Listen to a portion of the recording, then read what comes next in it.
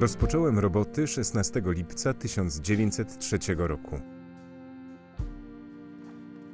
W odległości pięciu minut marszu przed wodospadami Mickiewicza wstrzymałem wózek z materiałami, narzędziami i wiktuałami i około godziny dziewiątej na smreku przydrożnym przybiłem tablicę z napisem na Orlow Perć.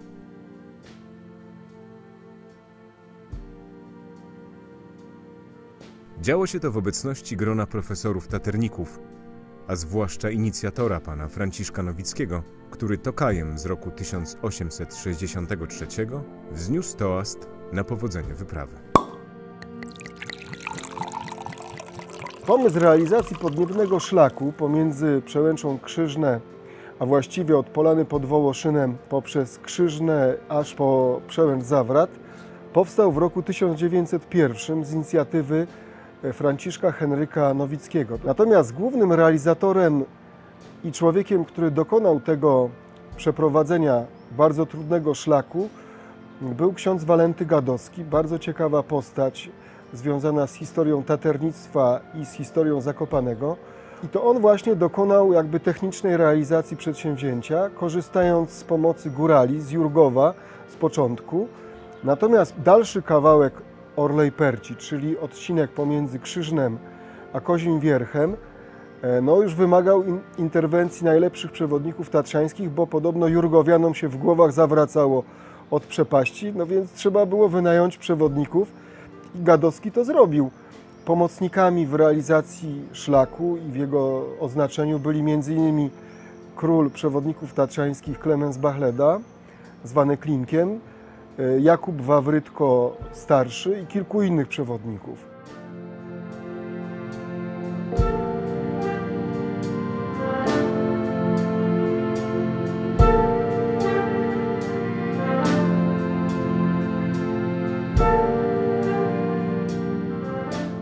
Warto powiedzieć, że było to przedsięwzięcie bardzo trudne pod względem technicznym. O skali trudności świadczy fakt, że wtedy właśnie podczas znakowania tego szlaku dokonano pierwszych wejść na małą buczynową turnię, na wielką buczynową turnię, e, na kozie czuby.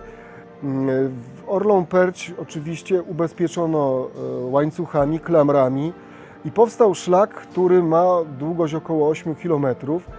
E, szlak najbardziej podniebny w Tatrach.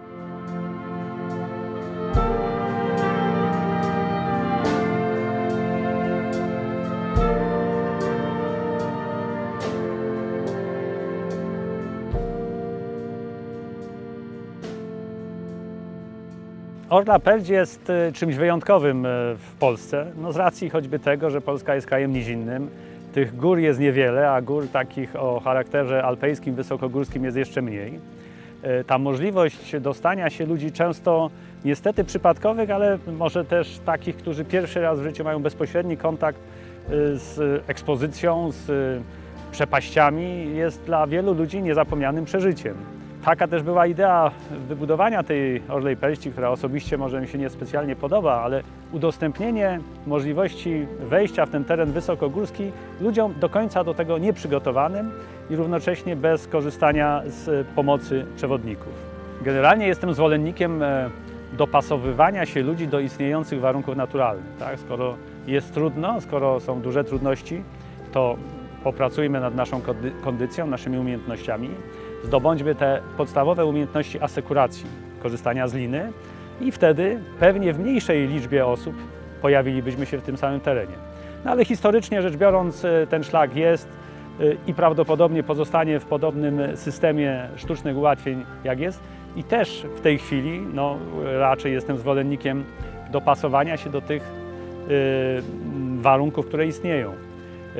Przechodzenie szlaku Orlej Pelci, jak my to brzydko nazywamy, na żywca, a więc bez żadnej dodatkowej asekuracji, trzymając się kurczowo lub mniej kurczowo tych łańcuchów, w dobie dzisiejszej dostępności sprzętu i wiedzy nie jest już właściwe i jest no, takim niepotrzebnym narażaniem się na zbyt duże ryzyko wypadku, a wypadek w tym rejonie to niestety bardzo często wypadek ze skutkiem śmiertelnym.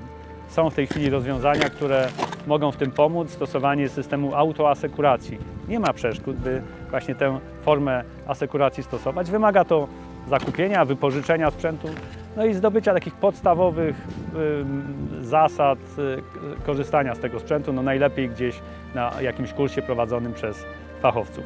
Zdecydowanie zwiększy to nasze bezpieczeństwo. To nie znaczy, że wypadków nie będzie, ale tych wypadków śmiertelnych z pewnością mogłoby być mniej.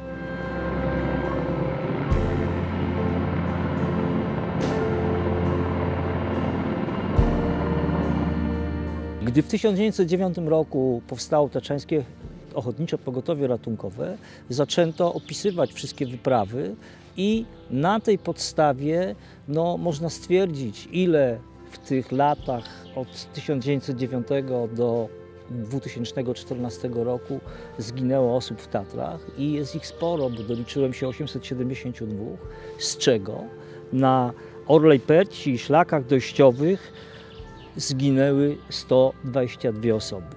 Z prostych rachunków wynika, że e, to jest około 14-15% wypadków śmiertelnych, to są wypadki na Orlej Perci. W tym ostatnim dwudziestoleciu e, na Orlej Perci i szlakach dojściowych doszło do 350 wypadków, w których zginęło 57 osób.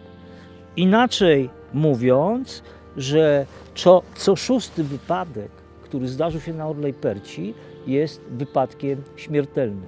To świadczy o tym, że ten szlak niestety jest bardzo trudny i należałoby się domyślać, że nie jest to szlak dla każdego, nie każdy tam się powinien znaleźć i nie w każdych warunkach należałoby y, na ten szlak wychodzić.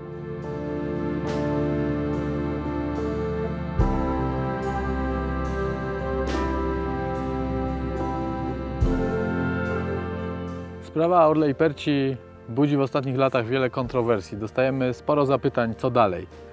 Czy łańcuchy zostaną, czy być może je zlikwidujemy i wprowadzimy ułatwienia typu Via Ferrata, albo być może w ogóle znikną wszystkie sztuczne ułatwienia i na Orlą Perci będziemy chodzić z przewodnikami.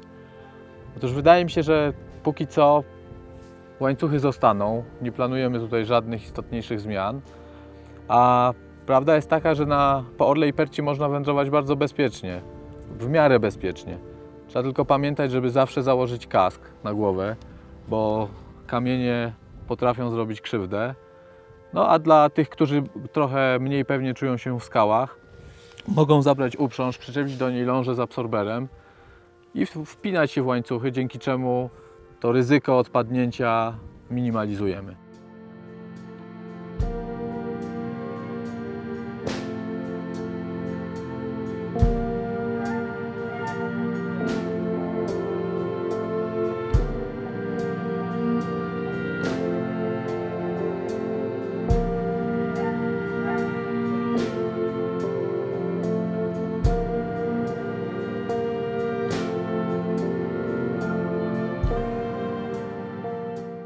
Za mną fragment Orlej Perci.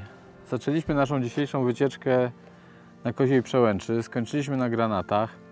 Minęliśmy po drodze dziesiątki osób i tylko dwie miały na głowie kaski, a uprzęży z lążą nie miał nikt.